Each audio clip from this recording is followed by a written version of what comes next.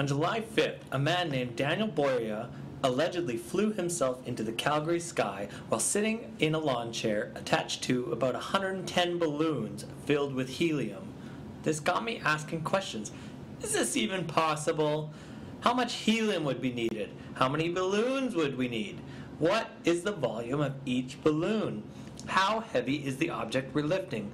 What effect does the gravity have? What effect does the atmosphere have? What about the clouds, the wind? To figure it out, we need to find out how much helium would actually be needed to lift someone and their lawn chair. Helium is considered a lifting gas because its molecular mass is lighter than air.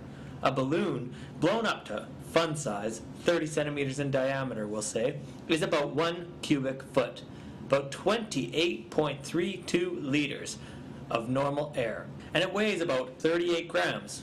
The same amount of helium weighs only 4.8 grams. If I wanted to, and I had the time, resources, I would use one helium balloon and see how much it can lift. Fortunately for me, being a busy university student on a time and money budget, someone has already done this for me. Heliumcalculator.com. Turns out that one normal balloon with about a 30 centimeter diameter can lift about 15 grams.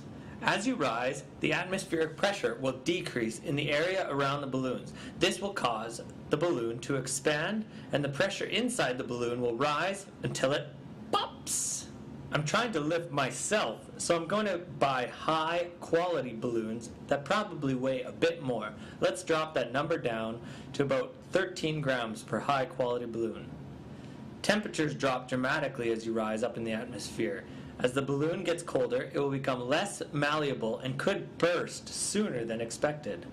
With all of this information, I now know that I want to have big, thick balloons that are only filled about half of their capacity so they don't pop too soon.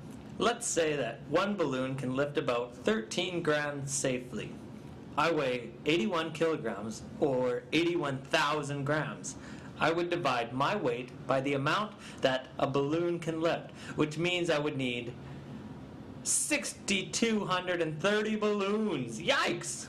A pack of 72 balloons cost about $18 after doing an internet search. 6,230 divided by 72 equals 87 packs of balloons, equaling $1,557.50 plus shipping at $40, plus my lawn chair, plus some high quality string to tie everything together.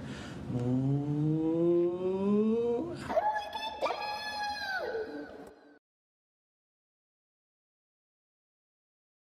Created using Powtoon.